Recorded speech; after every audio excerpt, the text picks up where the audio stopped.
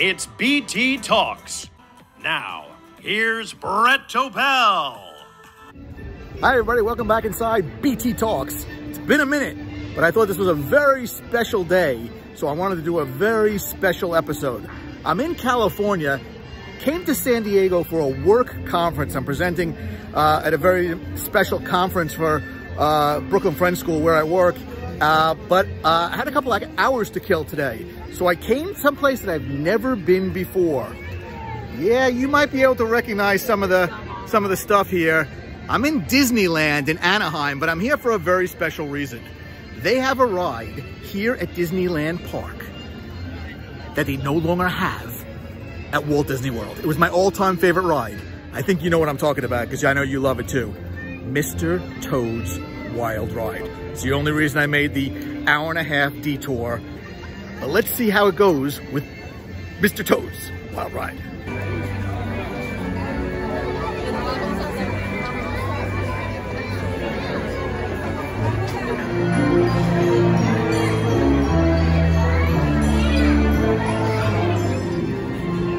OMG, there it is. There it is right there.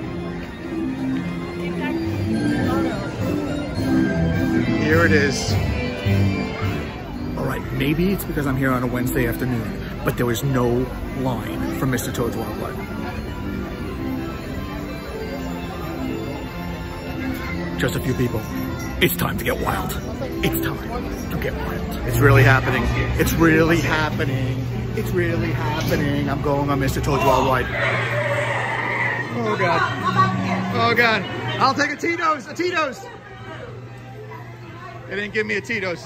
Watch out the pies, they're gonna fall. Oh. Hello, law court. Boom.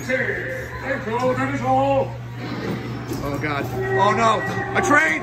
A train! All right, all right, just got off. It was as terri terrifying as it was exhilarating, and it was worth, it was worth every mile on Route 5. Oh. Oh. Mr. Toad's Wild Ride's alive. And guess what? I'm going on again.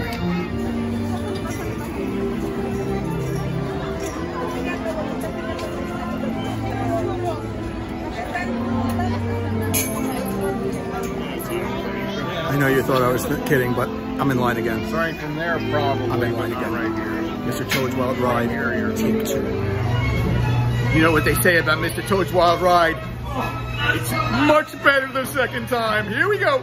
Woo! Oh, terrifying. Starting to think this Toad guy doesn't know how to drive. So here's the thing. I would go on Mr. Toad's Wild Ride for a third time, the hat trick, if you will. But I think they may be wondering why. Why?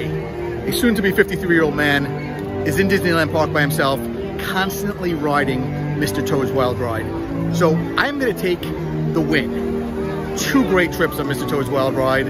Memories last a lifetime. A lifetime. A wild lifetime. For real.